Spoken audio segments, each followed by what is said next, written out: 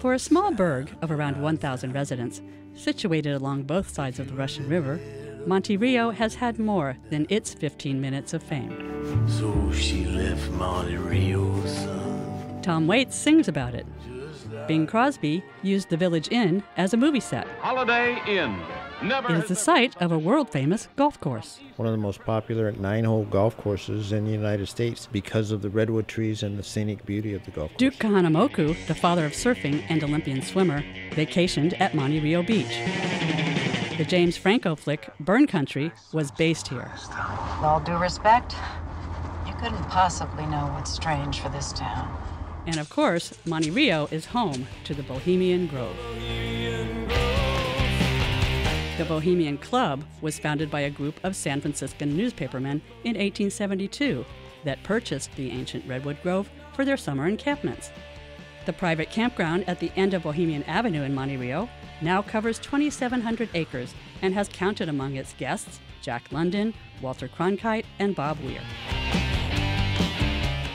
Uh, let's see, I started working at Bohemian Grove in 1947, I think it was, as a busboy. Alan Cumming spent 17 years working at the Grove. But I've met quite a few actors and presidents. Well, he was assistant grove master at the Grove, so he's met every president is uh, automatically member of the Bohemian Grove. Isn't that correct? not everyone Oh, Republican. oh.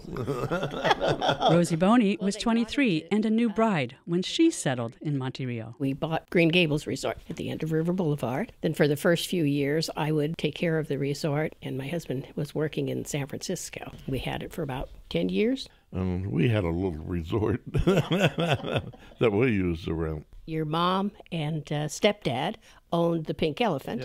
Uh, they had a restaurant. I used to eat in there all the time when I was going to Monte Rio School.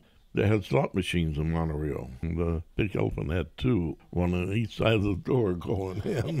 So the obvious bohemians are the Grove, but we have a lot of other characters. Bill Shad. I used to fish with him. He was colorful and he was independent. He didn't like people following when he was fishing, could care less about illustrating, and he was a heck of an artist. This guy wanted to do illustrations and stories for field and streams. Bill told him, he said, I don't have time. He says, What do you mean you don't have time? He says, I'm busy fishing. Monte Rio continues to be a haven for true bohemians, and there are hints of it everywhere. Thanks to whoever carved the redwood benches along Main Street, and whoever is using the beach as a canvas for your labyrinth. And to Edward Halsey for the bursting new flower beds recently planted under the Welcome to Monte Rio sign. It started off as a way of honoring my late mother. I was grief stricken, so I thought I would uh, do some sort of memorial where it could be viewed by people. And then I also thought, you know, after the flood and all, I think it'd be a good thing to kind of li- lift morale a little bit. And so I started um, just digging a hole. Everything was different. People appreciated what I was doing. There was love from strangers. I felt part of the community. I just thought, well, hell, maybe this will catch on and we might be a town of blossoms.